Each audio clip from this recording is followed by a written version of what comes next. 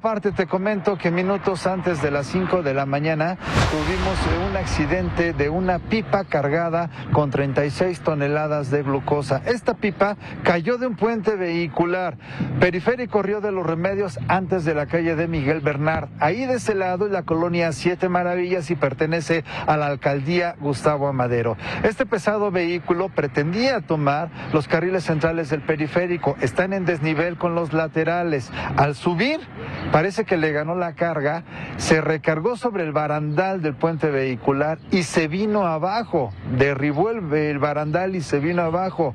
El conductor resultó gravemente lesionado, la cabina está totalmente destrozada y obviamente ya tenemos a Policía Capitalina, llegaron los bomberos de la Ciudad de México, también ya llegó una grúa tipo brigadier, pero es necesario traer otro contenedor para que toda esta carga, las 36 toneladas de glucosa, la pasen a otro a otro contenedor y bueno, pues puedan poner sobre sus llantas precisamente este pesado vehículo. Para todos aquellos que ahorita vienen de Tlalnepantla, de la avenida Mario Colín con rumbo hacia Miguel Bernard, hacia Ticomán o bien hacia los Indios Verdes, hacia la avenida a la carretera México-Pachuca, sí hay paso, pero pues mucha precaución porque todas las unidades de emergencia están estacionados sobre los carriles de la extrema derecha. Es una labor que todavía se antoja por lo menos para unas dos o tres horas en el transcurso de esta mañana. Eso es lo más importante, Anita, que tenemos de lo que ha ocurrido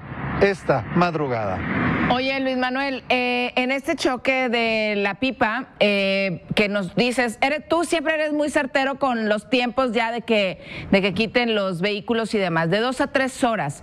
¿Cuáles son las vías que en este momento no recomiendas utilizar o que sí, que, que son las alternativas para quienes van a circular por ahí? Mira, ahorita la alternativa puede ser el periférico Río de los Remedios. Obviamente, conforme vayan pasando los minutos, se va a ir incrementando la carga vehicular. Sí hay paso por los carriles laterales, porque la pipa quedó en el por los carriles centrales. La pipa quedó en los carriles laterales. Solamente la recomendación que hacemos, si van a llegar de este, del periférico Río de los Remedios hacia Miguel Bernard, es que se siga, subir al puente, darse la vuelta no y tomar la misma misma vía, nada más que en sentido opuesto, unos metros, unos minutos más y poder incorporarse hacia la avenida Miguel Bernal. Sí hay paso, pero bueno, pues obviamente va a estar bastante lenta la circulación.